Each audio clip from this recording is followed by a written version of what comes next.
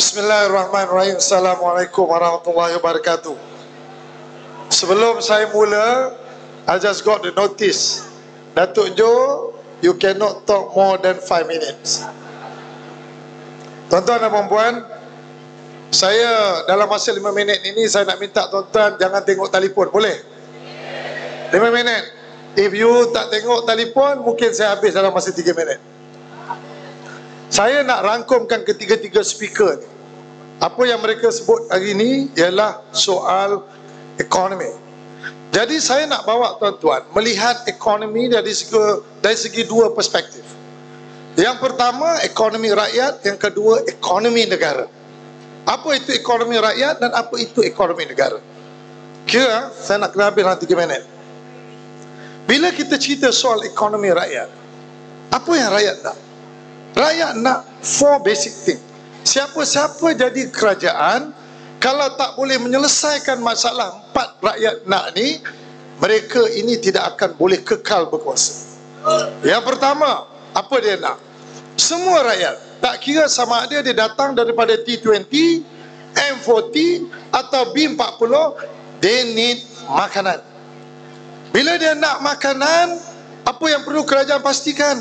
kerajaan pastikan bahawa kita mempunyai food supply, food security yang intact dan tidak lagi kita berdepan dengan soal-soal basic food. Tak ada ayam, tak ada telur. Uh, we cannot do that. That's rakyatnya ekonomi. Kemudian lepas ada makanan, apa lagi rakyat nak tengok? Rakyat nak tengok bagaimana sebuah kerajaan itu memberi kualiti pendidikan.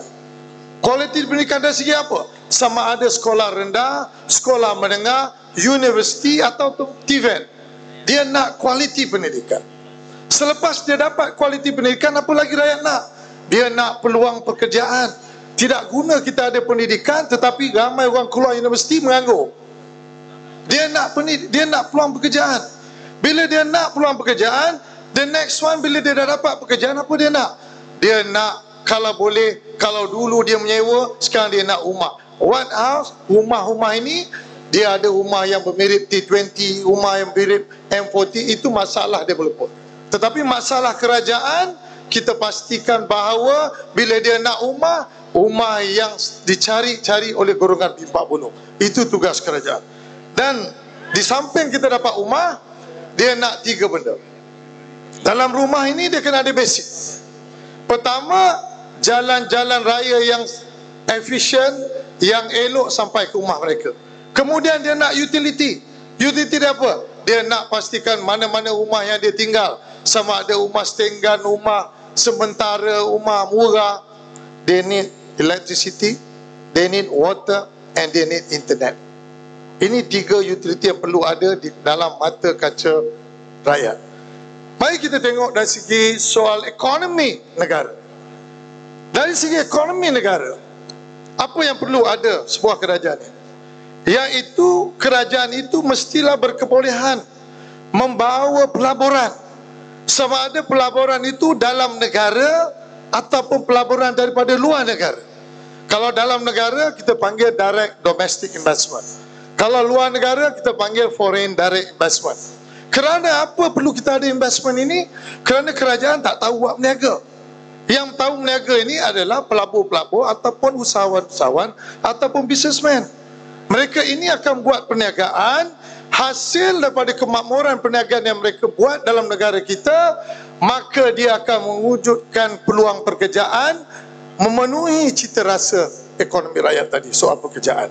Selepas mereka mendapat pekerjaan apa lagi usahawan-usahawan dan juga foreign direct investment yang bagi kepada kerajaan dia membagi kerajaan adalah sebuah pendapatan kepada kerajaan iaitu melalui cukai melalui macam-macam lagi teks yang dikenakan kepada usahawan-usahawan dan peniaga-peniaga dan juga pelabur-pelabur ini.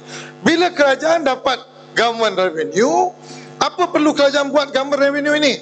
Kerajaan terpaksa membelanjakan revenue ini kepada apa? Membina infrastruktur contoh jalan-jalan raya yang efisien kemudian port airport. Ah, ini tugas kerajaan menggunakan sebaik mungkin revenue yang didapat daripada cukai untuk membina infrastruktur ini. Kemudian apa lagi kerajaan perlu buat?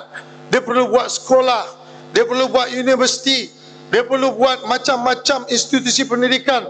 Untuk apa? Bersesuaian dengan apa yang rakyat nak, kualiti pendidikan.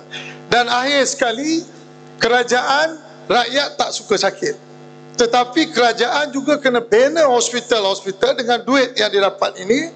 Kenapa? Untuk menjaga kesihatan-kesihatan rakyat secara keseluruhan.